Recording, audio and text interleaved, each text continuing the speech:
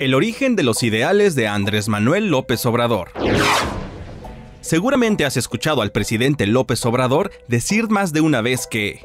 De que por el bien de todos, primero los pobres. Por el bien de todos, primero los pobres. Por el bien de todos, primero los pobres. Pero, ¿de dónde viene esta idea? La respuesta está en la poesía y en sus influencias ideológicas, como Carlos Pellicer, un poeta que había emprendido una cruzada por la alfabetización a lo largo de toda la República Mexicana. Inspirado por Pellicer y a la par de su experiencia de andar por tierra conociendo a los más vulnerables, Andrés Manuel López Obrador le brotaría una simpatía por los más pobres.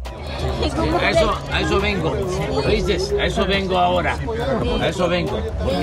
¿Y qué hay de la mafia del poder? La afinidad poética del hoy presidente de México se convirtió en un profundo gusto por la historia mexicana. De ahí nace su admiración por el historiador Daniel Cosío Villegas. Cosío Villegas, en su obra El sistema político mexicano, asegura que con la instauración del PRI en el poder, se forjaría una cultura de la corrupción en México. Eh, en México domina una mafia de poder de la poesía y la política vienen los ideales del presidente López Obrador, quien hoy cumple 66 años al mismo tiempo que se prepara para cumplir su primer año al mando de este país.